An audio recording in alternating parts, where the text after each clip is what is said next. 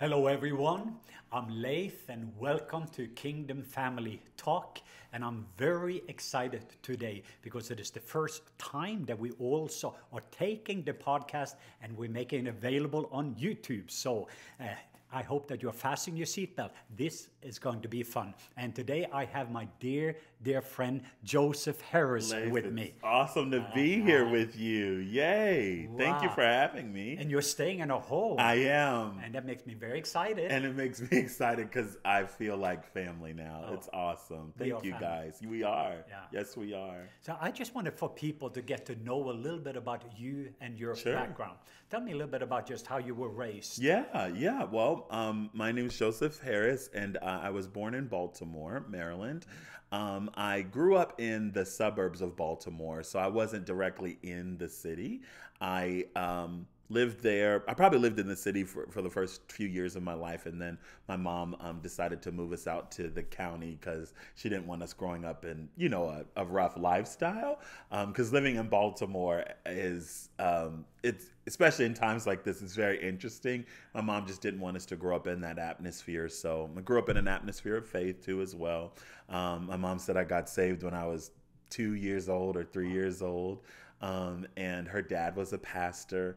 And uh, yeah, so I just grew up in a Christian household, um, went to a Word of Faith church for gosh 25 years. Um, that's that was just my lifestyle. And it wasn't until probably 2008 that i understood the other side of god like the holy spirit and having real relationship with god. And uh, i ended up going to global awakening for an event and got met encountered god in a very real way which i won't even go into but um, well maybe i'll share a little bit about it i uh, had went to global awakening and I had never seen people shaking before, so it like freaked me out a little bit. I'm like, "What is this? What's going on with these people?" And I was talking to the Lord about it, and I felt something like tied to my ankle, and it knocked me to my leg, my, knocked me to my knees, and I was like, "God, I didn't do that. What's going on?" I end up falling over, and this presence of peace just comes and literally just starts from the top of my head all the way down to my feet. And I felt this, it was unique. It was like this ball of light came and sat on my feet. And that's when that peace came. And I said, God, this is so cool. I got up and I shook for three days and nights. I would be asleep and literally just start shaking. I'd wake up shaking because the presence of God was on me. And from that day to this one, I have fallen in love with Jesus in a real way, you know, because growing up, I, I, I heard a lot about God, but I didn't, I couldn't necessarily say I knew God in a real way. And so that really marked and shaped my life to um, be who I am today. I was thinking about uh, uh, what is going on right now with George Yes. Floyd, and Mm-hmm. yesterday was his funeral in, uh, and this brutal murder of George Floyd, and in the middle of you have a COVID nineteen. Yes. Then America seems to be in chaos, and in the middle of that now it's spread to become a worldwide thing. And I talked to quite a few of my African American friends, and Mm-hmm. it did something with me because I'm realizing that uh, I'm Norwegian uh, from the outside, but still I've never been stopped like in my city. Yeah. And then I'm hearing one of my friends, well, I've been stopped 10 times without doing any crime. Or Yeah. another one of my friends, I've been stopped about 20 times. Wow. So I wonder about just your experience as you grew up. Is Yeah. there any difference because of the color of your skin? Of course, yes. Um, I, I mean, thank God I was never really stopped over that I know of for the based on the color of my skin. But I was treated differently if I would go to a restaurant or if I would go into a you know mall or a store. Um, you know, I was discriminated based on the color of my skin and. Um, where I live, actually in the county, my mom didn't want us being raised in the city because it was so rough. But in the county, they are there's a lot of extreme racism, unfortunately. You know, I've stood at at one time I was standing at a uh, ice cream parlor getting ice cream, and um, someone literally a group of kids just drove right beside me. Um, young adults drove right beside me, rolled down their window, called me the N word, said all these horrible things to me, and then just drove off. And the person that was helping me just cried. She couldn't believe somebody would do something like that. And by that point, I was just like, whatever, I don't care. Like, it, I know it's not true what they're saying about me, so I didn't take it. But you know, facing sometimes on a on a daily basis, just in casual settings, again, like in a mall, you expect to go in to a store and just be treated fairly. Um, one time I was in California at this really high end store, and I went in to get something.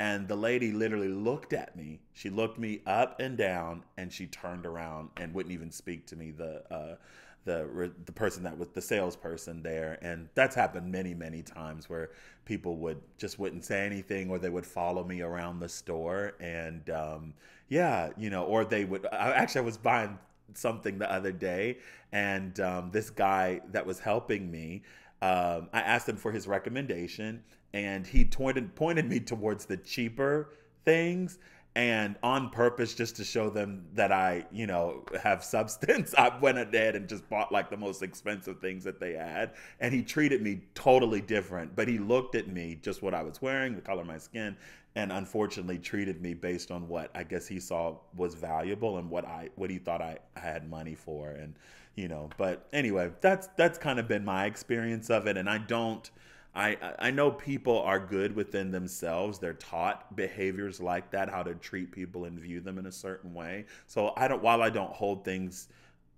against them, um, I at the same time want to encourage and help people to see people in from a human human perspective and actually see them valuable. All people are valuable, especially Black lives in the situations that are going on right now.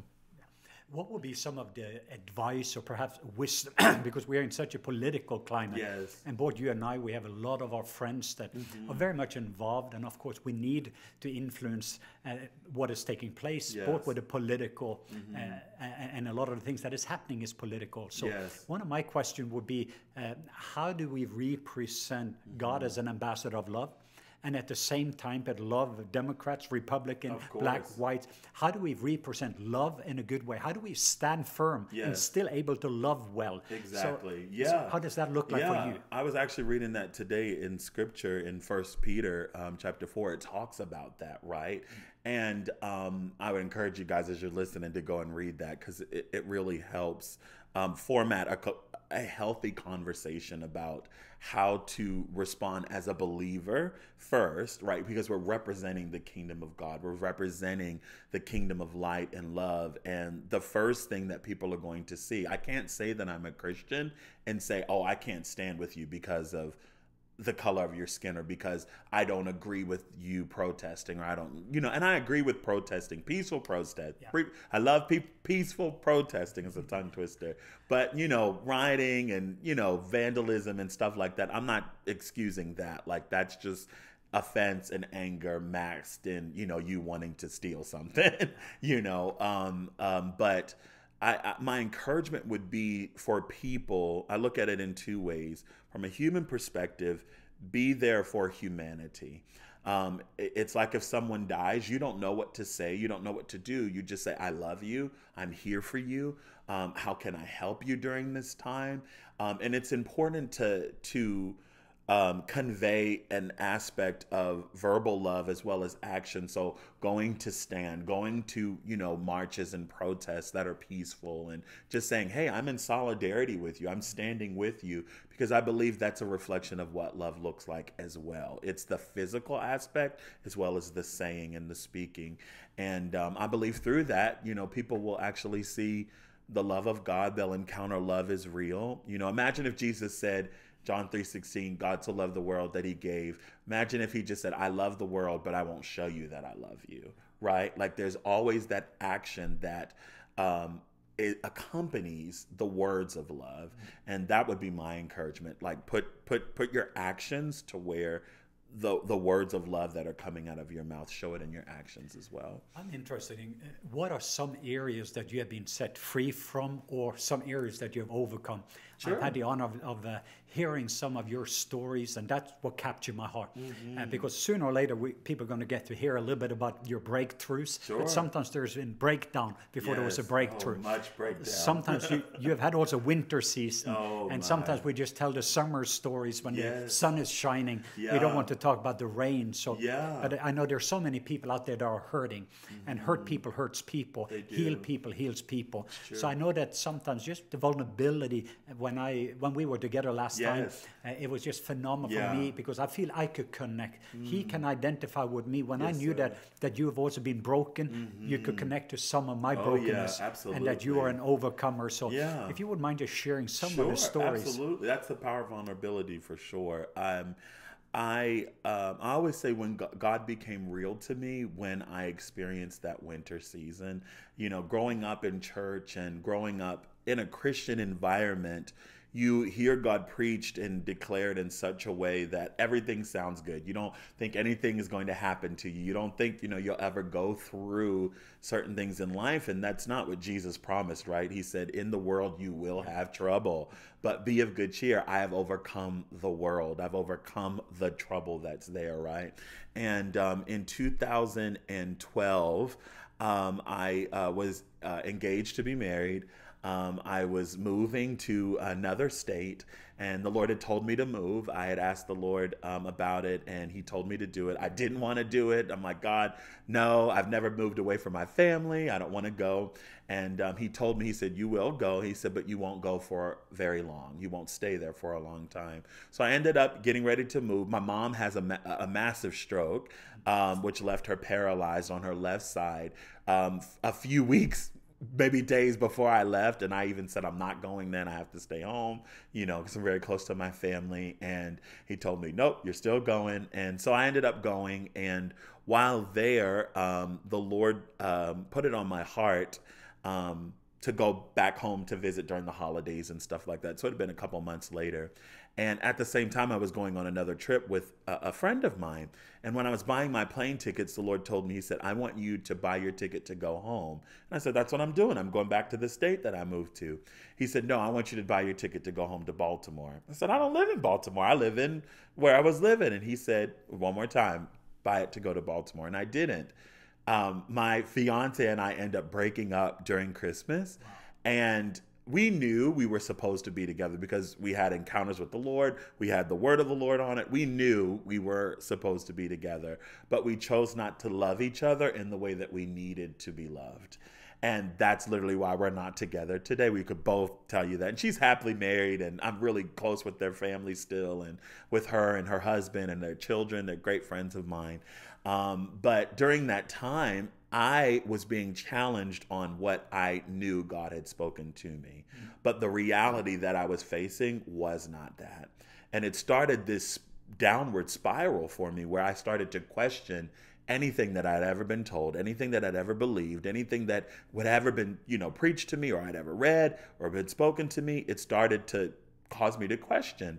And to the point where um, I was so dark, I had convinced myself um, I wanted to distance myself from any voice that I'd ever heard, including my family. I called my mom. Mind you, she had just had a stroke.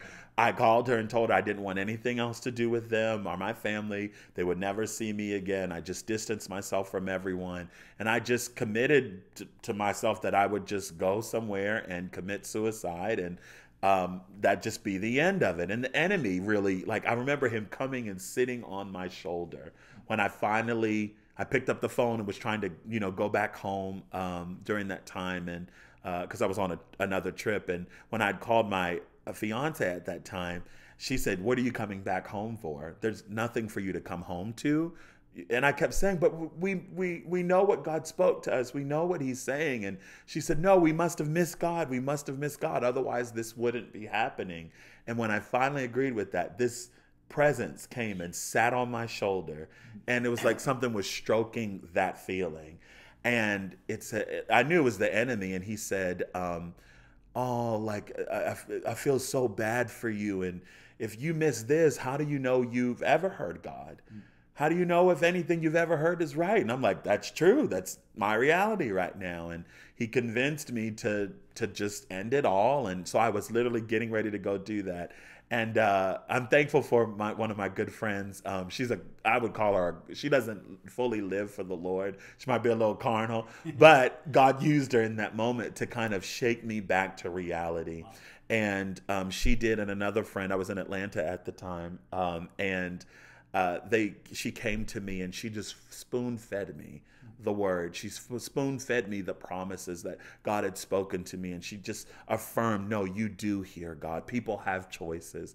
And you just decided not to do. She decided not to, you know, yield to what God actually has said. And it it it caused me again to really understand that God does speak and that things happen, things change, but that does not defy who God is. That does not defy his word. Does God always get what he wants? No, not necessarily. There are plenty of people in, you know, hell right now that he desires to be in heaven, but if they decided not to be in relationship with him and he's given us that power free will, there's nothing he can do about that, right? So it, it taught me a valuable lesson to experience God in a real way to value the voice of God and know that He does speak. He speaks very clear. And then when all of it was said and done, I was, um, um, I'm leaving a lot of it out, but just for the sake of time, but I had flown back home and I was sitting in my um, um prayer, you know, room and I was talking to the Lord. I said, Lord, please talk to me about it. And he began to tell me, he said, You didn't listen to me, number one, when I said to buy your ticket to go back home. You didn't know that your, you know, fiance was gonna break up with you, but I did. So he was trying to spare me some of that heartache and trouble. And um, so I missed it there. And then he told me, he said, and you didn't ask me how long, because I told you when you first moved that you wouldn't be there for a long time. He said, so you next time learn to ask the details. Ask like, hey, you spoke this to me. Now I'm taking it back to you and inquiring of the details. And then after all of that, he said, I want to let you know you did a good job. He said, because you picked up everything and did moved your life, everything just because I told you to. Wow. And he said, Your future will always be secure and guaranteed just simply from doing that act of obedience. Mm-hmm. So that's kind of like the winter season that I've had. And I thought also one thing that was fascinating for me mm-hmm. it was right after you shared that story. Uh, we had some time to pray for people. Yes. And I stood. I still remember there was one lady. She just was weeping yes, put yes, her head into yes, my chest. Yes. And your testimony did something, and that wow. person was suicidal. And yeah. I was actually at that moment, it's like the spirit of prophecy. God started yeah. to stir up something to mm-hmm. her, but we didn't know how to get the breakthrough and the yeah. connection. She just had this spirit of death. And yes. I know there's people watching. watching That's probably I, why I'm doing that. When you suddenly feel like you're so just good. you're being just being overwhelmed by darkness, you you don't see any purpose for life. Mm-hmm. And so when you're in that situation, I just know that lady. And for me, I didn't know, but I gave her a picture that I had. And I didn't realize afterwards she just wept and shook. And afterwards she showed me, and she had a tattoo of the very picture. Oh my! And so goodness. she had had that promise on, but she yeah. had forgotten about the promise. Mm-hmm. So your story, it was two people specifically that experienced healing and life wow. and breakthrough when they were in the middle of their breakdown. So yes. I think that sometimes God even allows us to go through he some does. processes Absolutely. so we can help people through processes. Yes. Because if you just had a breakthrough, you mm-hmm. wouldn't be mm-hmm. able to understand even no. other people no. if you just did it yeah. right there. Exactly. I'm interested also because there's some something that people don't know. I know you are a pastor. Yes. You are a phenomenal worship leader, oh, a worshiper. You, are one of the people that I know that can hear Papa's voice mm-hmm. declare. So you have learned to listen to God's voice. But then you have another gifting, and that is food. Yes. When sir. did food come into your life? And yeah. tell us a little bit about how did you enter into this challenge? Because we're yes. going to learn about it. You went on Food Network. I did. And let us hear a little bit of that story. Sure. Yes. Um. Uh. Yeah. So uh, shortly after that whole dark season that I just shared. Um, I um, was in Florida leading worship with Steve Swanson, yeah. and um, we were at Global Awakening with Randy Clark. He was doing his um, uh, Voice of the Apostles. And um, while I was there, or right after I got home, um, I got an email from the Food Network, and they had asked me if I could come and audition for this new TV show that they were starting. Now, mind you, I have no idea how they got my information. I don't know anything like that. I would post pictures on my, you I've know. tasted some of your food, so I can understand why. But all, all they, I guess they were just going off of pictures and stuff. So I didn't even believe it was real. Um, I showed my assistant Sean, and he was like, "Just try it," and showed my pastors at the time. And they were like, "Yeah, just go ahead and try it." I sent in everything they had asked for. They called me within the within an hour, and they said, "You're exactly who we're looking for. We'd like to bring you in for an audition." And um, it was a couple of months of really intense auditioning. Um, they would ask me to do things while I was traveling and still ministering and all this different stuff. And I just had a witness in my heart that I wasn't supposed to give up the dream of what maybe God wanted to do in regards to food. And I didn't even realize the fullness of what that would look like. And um, I was picking up a friend of mine at the airport and while I was there, uh, another friend asked me. He said, "Hey, well, tell me about this competition um, I'm uh, you're going to be a part of, and what's the prize?" And I told him, and I said, "Wait a minute, I didn't tell you anything about a competition." And he said, "I know. I just saw in my heart that you're going to win this competition, and you're going to win the first prize."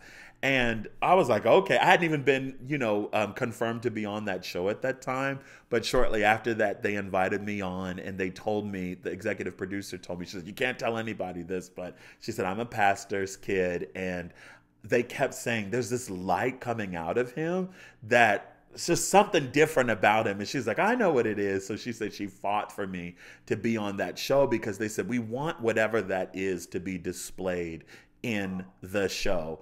And uh, so she said, that's why we hired you. So she said, anytime you need to pray, anytime you need to go, you know, whatever, they're like, we will allow you to do that. So God gave me that ability to, to really seek Him and encounter Him again as real during that time. And I'd be in different challenges and uh, be trying to do different things. And I'd never done anything like that before. I always said I would never do a TV show like that um, because it's challenging. You know, you have 30 minutes to to to make a a, a dish, a dessert with um, tortilla chips or beef jerky. That was one challenge. that was just just stupid to me, you know. But um, God taught me really how to hear His voice. Even in that, I would see, you know, a, a word of knowledge uh, come to my heart, and I would see a picture of the finished dish and I would just do what I saw. And my mentor Bobby Flay would tell me, he's like, "That's that's that's actually right. That's so cool how you would do that." And God used it as an opportunity to minister to them too as well. Um, we've since have you know um, started a good relationship and praying for him and just ministering to him. And he told me, he's like, "You're just different. You're not like." everybody else you just you love a certain way and i was able to just share jesus with him and um, lo and behold at I made it all the way to the end. Ended up becoming uh, the first prize, uh, first place winner. What was the name of the program? Um, it was called um, All Star Academy. All Star. Yeah, wow. All Star Academy, and now I'm the best home cook in America. That's the title they gave me. That's amazing. Yeah, it is. It's awesome. and what is even more amazing tonight? Yeah. Guess what? If you live in Atlanta, no, I'm no, no, no, no. tonight, here's what I had an opportunity uh, is to actually have the choices of what you're going to cook for. Yes, you did. Jennifer and myself, yes. she's on a little bit more strict diet yes, than me, yes. so I had the freedom. Yes. But I'm interested in a different topic connected to that. Because again, if you're saying, what is your special sauce? I yes. use that language. Yes. That everyone have a special sauce. Yes. And it's kind of like getting around you. And, uh-huh. and, and I know that you know the language of love well, but it's like you're getting closer and closer. It's like mm-hmm. I go to an Italian place yes. and I will drive an hour to go there because of their special sauce. Me too. And each individual carry a special sauce. There's mm. something that people gets to taste and see how good God is. Yes. I'm calling it as kind of the destiny, what you can bring to the table, even in regard to the giftings mm-hmm. and who you are and the value that you carry, the special sauce, and for yes. people to develop in the uniqueness because I think that was so precious for you that you you have found, if you can say, your special lane. You're bringing glory to God in yeah. food, in worship. There's yes. several things that you do. Yes. So, what would be something you could say, even for people, different ingredients, but what are some of the ways people can find their special sauce, their yeah. uniqueness, their yeah. gift to the world? I always say just finding out number one, starting with what you're passionate about, so what you do naturally, you know, the things that people enjoy about you. So if you are a good you know conversation starter maybe it's god going to use something to do with your speaking or with your mouth you know. If you um, um, are a good cook you know and people love you baking things and making things i think start there start if you enjoy writing you know that just came up in my heart like if whatever you're passionate about like god's made it so easy um, to to pursue the desires that He's placed inside of you and what you're actually good at doing. And you know, some people want, you know, we always people try and aim for a big stage or big platform. No, just aim for what you're good at, oh, and then through aiming for what you're good at, God will take that and give you a platform. Oh, that is beautiful. Mm-hmm. I, I also know that you're operating prophetically, if you get pictures, sure, yeah. Papa's voice. Mm-hmm. But I felt also we're going to take a few moments, even for some of our family that are listening. We're still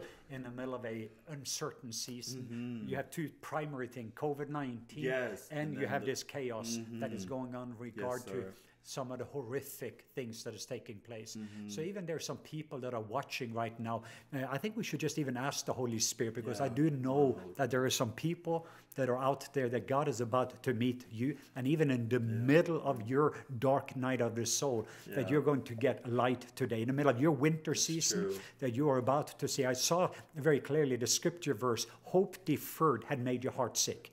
And there's people that are out there, you have lowered your expectancy because you didn't want to live with disappointment. Yes. And you've been afraid of hoping. And I just seen that God is lifting the lid off your Come life on. because it is time for you to dream again. Yeah. For those who desire and dream again, Come it is on. the tree of life. Yeah. So I'm just blessing you, even yes. as I've been listening now to Joseph, and that as he has been just going on a journey to develop and actually finding his special sauce, but also he took some risk. He stepped out of his comfort zone, put his eyes on Jesus, and as a result of that, was able, even what he loved to do, bring glory to God with cooking. I'm just praying for you who are watching there mm. that you're going to find the uniqueness. There's something that you carry that the world is just waste. The world is just waiting for them to be able to taste of that so they get to taste and see how good papa god is yeah. as a result of it. So joseph i just wanted you even just to pray or release sure. something over yeah. Lord we oh. just thank you for every person that's watching we thank you for the manifestation of your presence that's real. And holy spirit i ask that you just come right now and fill that space where every single person that's watching is. And i as leif was talking i kept seeing like the scales that fell off of uh, paul's eyes or when jesus you know, healed the blind. And I just saw scales being peeled away and falling off people's eyes as you get a manifestation of, of, of looking at the image of true love, looking at the image of the Father, looking at the image of, of Him, looking at the Son, the value that He places on Him and the value that the Father places on the Son. Um, I just keep seeing like through that value, God will cause these scales to fall from your eyes, especially during this dark time where races are going against races and even churches almost are going against churches. And the enemy is trying to blind the eyes of believers. He's trying to blind the eyes of people you know. And in this time i feel like god wants to remove the scales off people's eyes so that they can remember and return to their first love of loving the lord with all their heart soul mind and strength and then through that love loving their neighbor as they love themselves so lord i ask that scales be removed today i ask lord that change, radical change, comes forward as you minister what love looks like to us in Jesus' name. Mm-hmm. Amen and amen. Praise amen. God. Joseph, I love oh, you. man, I love you so oh, much, wow. Papa Leif. That was awesome. That's good. Wow. Thank you for having me. Yeah, and then we're going to make sure that you have an opportunity to connect with Joseph and mm-hmm. just follow him and in what he is doing. So we're making sure that you send an email, just share what God is doing in your life. We would love to hear from you. Love you guys, and uh, I look forward to the next episode where actually Joseph he's going to interview me and ask me some challenging questions. Come on, that's gonna be awesome. Give me five. Yeah.